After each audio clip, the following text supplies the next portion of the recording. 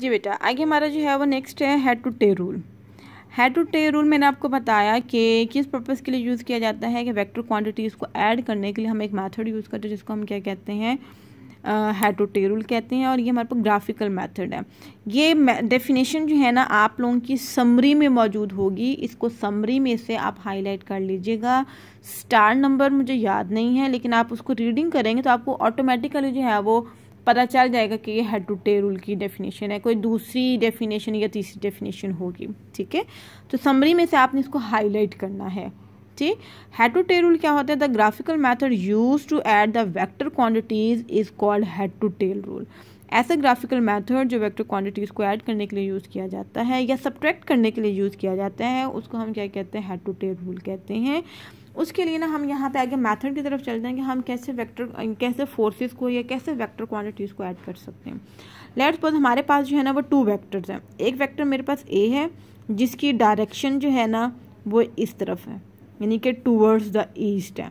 एक मेरे पास ऐसे है, ठीक है, उसकी डायरेक्शन ऐसे। अब डायरेक्शन ही हम चेंज कर। हम यहाँ पर फोर्सेस को या वेक्टर क्वांटिटीज़ को जो है वो चेंज नहीं कर सकते। सबसे पहला स्टेप क्या आ जाता है कि सिलेक्ट सूटेबल स्केल हमने ना एक सूटेबल स्केल जो है वो सिलेक्ट करना है। सूटेबल स्केल में आपको पता है कि जब हम ग्राफ ड्रॉ करते हैं तो उसके अंदर छोटे छोटे बॉक्सेस बने हुए होते हैं, ऐसे। ठीक है? बॉक्सेस बने हुए होते हैं। इन बॉक्सेस को ना हम कोई सभी अपनी मर्ज़ी से नाम दे देते हैं लेट्स सपोज़ इसको मैं कह देती हूँ कि ये वन न्यूटन का है, फिर आगे जो है ये टू न्यूटन का आ जाएगा। यानी कि हमने कोई सभी अपनी मर्ज़ी से एक सूटेबल स्केल बना लेना है। सेकेंड स्टेप में हमने क्या करना है कि इन दोनों में से किसी एक वेक्टर को हम लोगों ने एज अ रेफरेंस लेना है। हम ए वेक्टर को क्या कर लेते हैं? एज अ रेफरेंस जहाँ से हम लोगों ने स्टार्ट करना है।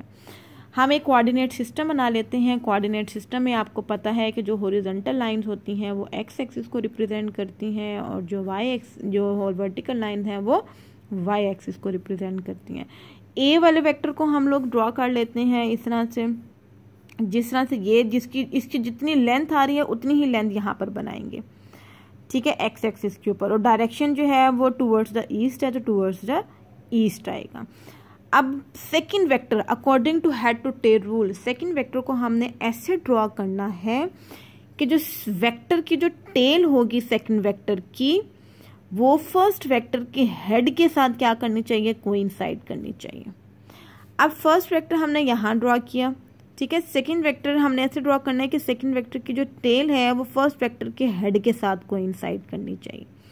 तो डायरेक्शन चेंज नहीं होनी चाहिए मेथड चेंज नहीं होना चाहिए तो इसको हम यहाँ पर अगर ले आए तो ये ऐसे बन जाएगा इस तरीके से। समझ आई? तो यहाँ पर हम लोग जो है, वो according to head to tail rule second vector की टेल फ़र्स्ट वेक्टर के हेड के साथ।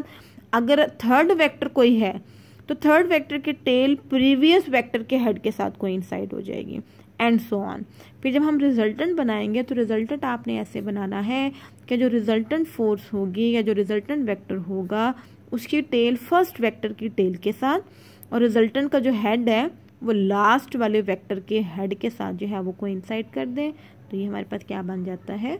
रिजल्टेंट बन जाता है।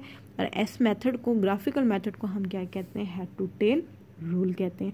अब आप लोगों ने कॉपीज़ के ऊपर जस्ट जो होमवर्क करना है, और लाइक और अनलाइक पैरल फोर्सेस का डिफरेंस लिखना है डेफिनेशन और एग्ज़ाम्पल बाकी आप लोगों ने बुक के ऊपर जो है वो हाईलाइट करना है, और उसको साथ साथ याद करना है। जो एग्ज़ाम्पल आपके फोर पॉइंट वन है, उसको कैंसिल कर दें कट कर दें।